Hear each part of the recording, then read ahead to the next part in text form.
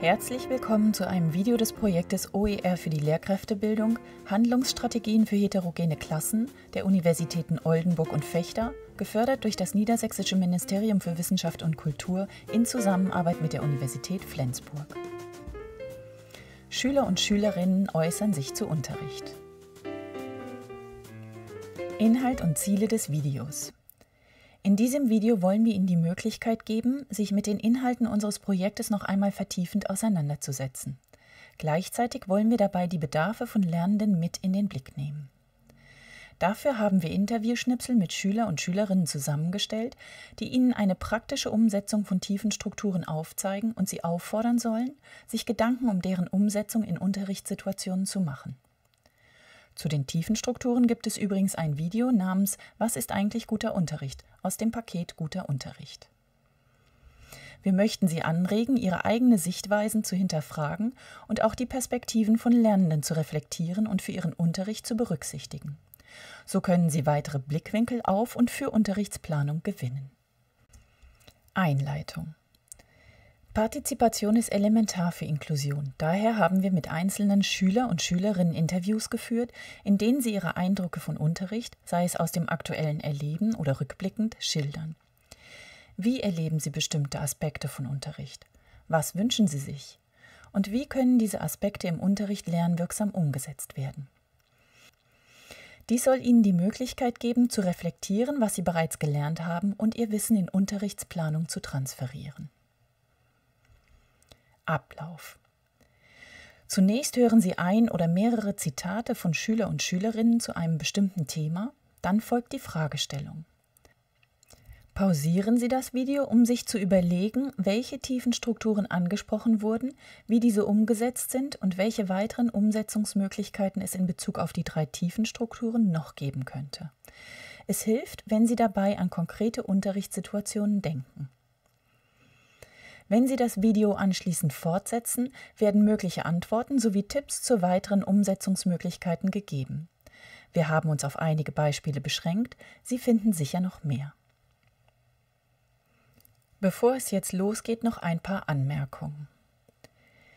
Tiefenstrukturen lassen sich nicht immer eindeutig voneinander abgrenzen und eine Maßnahme zeigt auf Auswirkungen in allen Dimensionen.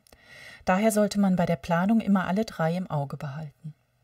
Es geht hier aber nicht nur um die Zuordnung einer Maßnahme zu einer tiefen Struktur, sondern darum, sich die dem Unterricht zugrunde liegenden Lernprozesse bewusst zu machen und dieses Wissen für lernwirksamen Unterricht einzusetzen.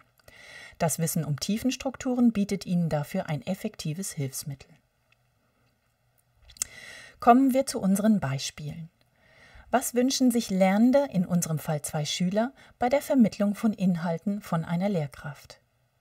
Erstes Beispiel ein Schüler einer berufsbildenden Schule. Also wenn zum, zum Beispiel, wenn man jetzt ein Fach hat, wo, wo viele ähm, komplizierte Wörter verwendet werden, um einfache Handlungen zu umschreiben, ähm, dann sollte man auf die einfachen Wörter zurückgreifen und dann Vergleiche anstellen, dass dieser Begriff, dass man den verstehen kann wie diesen anderen, also dann einen um, umgangsüblichen Be äh, Begriff, der dann, womit man quasi dann eine Verknüpfung schließen kann, dass man versteht, worum es gerade geht. Weil wenn man halt in einem Bereich wenig Wissen hat oder gar kein Wissen und der Lehrer einem da irgendwas erzählt, dann kann man im Kopf nichts verknüpfen und dann weiß man nicht, wo man es einsortieren kann und dann kann man auch nichts lernen. Das ist das größte Problem, wenn man eigentlich ne, einfach so in Unterricht reinkommt und von nichts eine Ahnung hat. Und dafür sind ja Lehrer da, einmal etwas beizubringen und nicht zu erzählen, was man zu lernen hat und dann muss man das zu Hause nachlernen. Zweites Beispiel, Schüler einer Sekundarstufe 1. Und sie machen, wenn sie irgendwas erklären müssen, nicht 10 Minuten um irgendwas rumquatschen, was man in 5 Minuten erklären könnte. Welche tiefen Strukturen werden hier angesprochen? Wie wurden sie umgesetzt? Und welche weiteren Möglichkeiten gibt es? Wenn Sie eigene Antworten finden möchten, pausieren Sie das Video an dieser Stelle. Mögliche Lösungen folgen jetzt. Kognitive Aktivierung. Die Lehrkraft soll an bekanntes Vorwissen anknüpfen. Konstruktive Unterstützung. Die Lehrkraft soll eine einfache Sprache verwenden und die Inhalte klar und verständlich erklären. Wie könnte man den Schülerwünschen noch nachkommen? Was kann Classroom Management beitragen? Suchen Sie sich einen speziellen Ort für Neues, von dem aus Sie immer die Einführungen durchführen oder ankündigen. So wissen die Schüler und Schülerinnen schon aufgrund ihres Standortes, was als nächstes kommt, und sie können ihren Ausführungen leichter folgen. Eine kognitive Aktivierung kann erreicht werden, wenn die Interessen der Schüler und Schülerinnen berücksichtigt werden. Wo gibt es Überschneidungen zum aktuellen Thema? Vielleicht können die Lernenden Inhalte auswählen und mitgestalten. Die Struktur und Ziele einer Unterrichtsstunde oder Einheit von Anfang an transparent zu machen, hilft den Schüler und Schülerinnen leichter mitzudenken. Um dies zu erreichen, bietet sich der Einsatz von Advanced Organizern an. Konstruktive Unterstützung findet beispielsweise statt, wenn die Inhalte auf verschiedene Arten präsentiert werden, um den Lernenden individuelle Zugänge zu ermöglichen, etwa durch direkte Instruktion durch die Lehrkraft oder ein entsprechendes Video und auch andere Schüler und Schülerinnen können die Erklärungen im Rahmen von peergestütztem Lernen übernehmen. Statt oder zusätzlich zur Verwendung von einfacher Sprache kann durch die Einführung von Symbolen das Erlernen von Fachbegriffen unterstützt werden. Oder es wird gemeinsam ein Glossar mit wichtigen Fachbegriffen und deren Definitionen bzw. Erklärungen erstellt. Nächste Fragestellung. Was tun, wenn etwas nicht verstanden wird? Eine Möglichkeit hören Sie im dritten Beispiel von einer Schülerin der Sekundarstufe 1. Ja, also wenn ich eine Aufgabe habe, die ich nicht verstehe, dann melde ich mich halt und dann kommen die an meinen Platz und helfen mir. Welche tiefen Strukturen werden hier angesprochen? Wie wurden sie umgesetzt? Und welche weiteren Möglichkeiten gibt es? Wenn Sie eigene Antworten finden möchten, pausieren Sie das Video an dieser Stelle. Mögliche Lösungen folgen jetzt. Konstruktive Unterstützung. Die Lehrkraft steht quasi jederzeit für Fragen zur Verfügung. Eine Umsetzungsmöglichkeit im Rahmen des Classroom Management könnte auch hier sein, einen speziellen Ort festzulegen, an dem sich immer das Hilfsmaterial zum aktuellen Thema befindet. So wissen die Schüler und Schülerinnen genau, wo sie nach zusätzlichen Informationen suchen können. Für eine gute kognitive Aktivierung ist es wichtig, den Lernenden Problemlösestrategien zu vermitteln. Geben Sie ihnen Abläufe an die Hand, an denen sie sich orientieren können. Zum Beispiel, was habe ich schon verstanden? Was genau habe ich noch nicht verstanden? Wo kann ich, außer bei der Lehrkraft, noch Hilfe bekommen, um das Problem zu lösen? Wurde das Problem gelöst? Und so weiter. Betreiben Sie ein gutes Fehlermanagement, indem Sie den Umgang mit den Fehlern positiv gestalten. Statt du hast das noch nicht verstanden und falsch gemacht, lieber der Fehler zeigt dir, wo du noch etwas lernen kannst. Zur konstruktiven Unterstützung können Sie differenziertes Lernmaterial anbieten, das die Schüler und Schülerinnen selbstständig, alleine oder gemeinsam verwenden können. Dafür können Sie zum Beispiel Karten mit Lösungswegen zur Selbstkontrolle anbieten, zusätzliche kleinschrittigere Anleitungen oder vielleicht solche mit mehr Anschauungsmaterial anbieten. Dabei müssen Sie nicht alles auf einmal geben. Probieren Sie aus, was funktioniert und bieten Sie nur mehr an, wenn das Ziel noch nicht erreicht wurde. Nutzen Sie Ihre Erfahrung, um einzuschätzen, was und wie viel Sie anbieten und kontrollieren Sie, ob Sie Ihr Ziel erreichen konnten. Eine weitere Unterstützung, die gleichzeitig Sie als Lehrkraft entlastet, ist die Einführung peergestützten Lernens, bei dem Schüler und Schülerinnen sich wechselseitig helfen und voneinander lernen. Denken Sie auch daran, dass Schüler und Schülerinnen sich vielleicht nicht trauen, eine Frage zu stellen. Machen Sie ihnen das Fragen leicht. Geben Sie ihnen das Gefühl, dass die Frage willkommen ist, selbst wenn Sie die Beantwortung an andere delegieren oder auf einen späteren Zeitpunkt verschieben. Nächstes Thema. Wie wird mit Lärm im Unterricht umgegangen? Viertes Beispiel. Eine Schülerin der Sekundarstufe 1. Versuchen wir uns so ein bisschen zu halten oder wir sagen den anderen, dass sie ein bisschen leiser sein sollen. Und wenn sie es nicht machen, dann sagen wir es halt dem Lehrer und ja, dann machen die da was.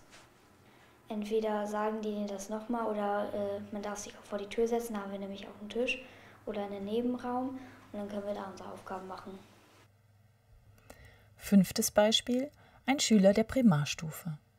Wir haben so eine Klangschale und da macht unsere Lehrerin dann und, und dann hören die anderen auf, so laut zu sein.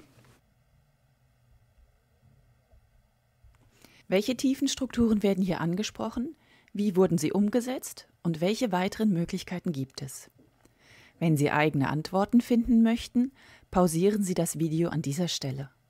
Mögliche Lösungen folgen jetzt. Classroom Management es wurden räumliche Möglichkeiten geschaffen, die Schüler und Schülerinnen erlauben, sich einer für sie unangenehmen Lernsituation zu entziehen, beziehungsweise es wird das Ritual einer Klangschale genutzt, um an Ruhe zu erinnern. Zur konstruktiven Unterstützung schreitet die Lehrkraft ein, falls die Klasse sich nicht selbst regulieren kann. Weitere Möglichkeiten im Rahmen des Classroom Management können Schüler und Schülerinnen statt der Lehrkraft die Rolle von Lärmschlichtern übernehmen oder es können Symbole wie eine Lärmampel dafür eingesetzt werden. Dafür müssen im Vorfeld Verhaltensweisen eingeübt werden, wie auf die Intervention der Lärmschlichter oder das jeweilige Symbol reagiert werden soll. Hilfreich ist auch, bereits bei der Planung einer Stunde Unruhe erzeugende Situationen zu vermeiden, zum Beispiel indem Sie Wechsel zwischen verschiedenen Arbeitsphasen möglichst reibungslos organisieren. Vielleicht können Sie auch durch eine geeignete Raumgestaltung mit rauen oder textilen Oberflächen die allgemeine Lärmentwicklung dämmen. Zur kognitiven Aktivierung sollten Sie immer die Interessen der Schüler und Schülerinnen im Auge behalten, um diesen einen guten Zugang zum Thema zu ermöglichen. Interessierte Lernende sind aufmerksam, damit sinkt der Lärmpegel oft automatisch. Manchmal ist es aber nicht möglich, alle Schüler und Schülerinnen abzuholen. Zur konstruktiven Unterstützung können Instrumente wie das Klasse Kinderspiel genutzt werden, welches langfristig Unterrichtsstörungen senkt und damit ein ruhigeres und konzentrierteres Lernen ermöglichen kann. Und falls Sie die Möglichkeit haben, auch der Einsatz von Schulhunden hat einen lärmreduzierenden Effekt, da die Kinder in der Regel gerne auf das Bedürfnis eines Hundes nach einer ruhigen Umgebung Rücksicht nehmen. Nächstes Thema. Was hilft im Unterricht? Fünftes Beispiel. Eine Schülerin der Sekundarstufe 1. Konzentrieren mit Musik, das. Also wenn ich Mathe habe und ich Musik höre, kriege ich die meisten Aufgaben auch selber hin. Sechstes Beispiel: Schüler einer Sekundarstufe 1. Und da meinte meine LAS Förderhilfe, ich würde so verkrampft beim äh, Schreiben sein. Und dann haben wir es mal auf dem iPad ausprobiert. Da war es halt einfacher und seitdem darf ich halt auf dem iPad in jedem Fach schreiben. Außer die Klausuren, die muss ich natürlich weiterhin auf Papier schreiben. Welche tiefen Strukturen werden hier angesprochen? Wie wurden sie umgesetzt? Und welche weiteren Möglichkeiten gibt es? Wenn Sie eigene Antworten finden möchten, pausieren Sie das Video an dieser Stelle. Mögliche Lösungen folgen jetzt. Konstruktive Unterstützung. Die Lehrkräfte ermöglichen durch den Einsatz von Hilfsmitteln einen individuellen Weg, eine Lernsituation zu verbessern. Welche Möglichkeiten gibt es noch? Im Rahmen des Classroom Management können Sie ruhige Arbeitsbereiche anbieten, in die sich Einzelne bei Bedarf zurückziehen können, um ungestörter zu arbeiten. Gemeinsame Regeln für die verschiedenen Arbeitsphasen, deren Einhaltung transparent rückgemeldet und reflektiert wird, helfen ebenfalls, eine ruhige Arbeitsatmosphäre zu schaffen. Einen positiven Effekt hat es auch, gute Beziehungen zu den Lernenden aufzubauen, denn wenn sich alle wohlfühlen, wird auch besser gelernt. Um eine kognitive Aktivierung zu erreichen, können Sie Ihre Schüler und Schülerinnen anregen, eigene Lösungsmöglichkeiten zu finden. Diese wissen zum Teil sehr genau, was sie brauchen und können Ihnen damit eine wertvolle Hilfe sein. Zur konstruktiven Unterstützung können Sie Hilfsmittel nutzen, um Einzelnen eine Lernsituation zu erleichtern. Und kurze Pausen zwischendurch, zum Beispiel als Bewegungs- oder Trinkpausen, helfen, die Konzentration zu steigern. Und nun als letztes Thema in diesem Video. Was wird von Schülern und Schülerinnen positiv wahrgenommen? Beispiel 7. Schülerin einer Sekundarstufe 1. Also meine Klassenlehrerin, sie macht halt viel Spaß in der, in der Klasse, so sagt was, dann müssen wir alle lachen. Und ähm, sie tut mit uns viel lachen und halt auch schnell helfen und so. Und das mag ich halt an meiner Lehrerin sehr. Achtes Beispiel, ein Schüler der berufsbildenden Schule. Auch mal Klassenaktivitäten machen, weil Klassenausflüge habe ich meiner Frau gemacht, ist das Beste, was in der Klasse passieren kann. Dadurch kommt die Klasse zusammen, man lernt sich kennen, man unternimmt Sachen gemeinsam. Und wenn die Klassengemeinschaft gut ist, dann kann man auch gut lernen. Neuntes Beispiel, ein Schüler der Sekundarstufe 1. Erstens Ruhe, zweitens nette Lehrer und drittens eine freundliche und nette Klasse. Welche tiefen Strukturen werden hier angesprochen? Wie wurden sie umgesetzt? Und welche weiteren Möglichkeiten gibt es? Wenn Sie eigene Antworten finden möchten, pausieren Sie das Video an dieser Stelle. Mögliche Lösungen folgen jetzt. Classroom Management. Die Beziehung zwischen allen Beteiligten sollte auf einer respektvollen und wertschätzenden Basis stehen. Wie lässt sich das erreichen?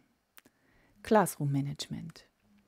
Stärken Sie die Klassengemeinschaft zum Beispiel durch gemeinsame Ausflüge oder die Teilnahme an Wettbewerben. Setzen Sie positive Methoden wie das Tuttling ein, bei dem sich die Schüler und Schülerinnen gegenseitig bei guten Taten ertappen und diese auf Karten festgehalten werden. Geben Sie dem gegenseitigen Kennenlernen ausreichend Raum und reden und lachen Sie miteinander. Kognitive Aktivierung wie schon zuvor gesagt, ist die Integration der Interessen und Wünsche der Lernenden ein guter Schritt, sie aktiv in das Unterrichtsgeschehen einzubinden. Es macht den Unterricht interessant und spannend und zu einem Ort, an dem man gerne lernt. Konstruktive Unterstützung. Fördern Sie in Ihrem Unterricht auch soziale und emotionale Kompetenzen, indem Sie entsprechende Trainings wie zum Beispiel Lubo aus dem All durchführen oder Methoden wie das Reciprocal Teaching einsetzen, um das gegenseitige Helfen zu etablieren. Wenn Ihnen das Video gefallen hat, empfehlen Sie es gerne weiter. Aktuelle Informationen zu diesem Video, Literaturangaben und weiteren Materialien aus diesem Projekt finden Sie unter dem angegebenen Link und bei twillo.de unter dem Stichwort OER Lehrkräftebildung. Dieses Video wurde unter einer Creative Commons Lizenz veröffentlicht und ist zur weiteren Nutzung freigegeben. Genauere Hinweise entnehmen Sie bitte dieser Ansicht.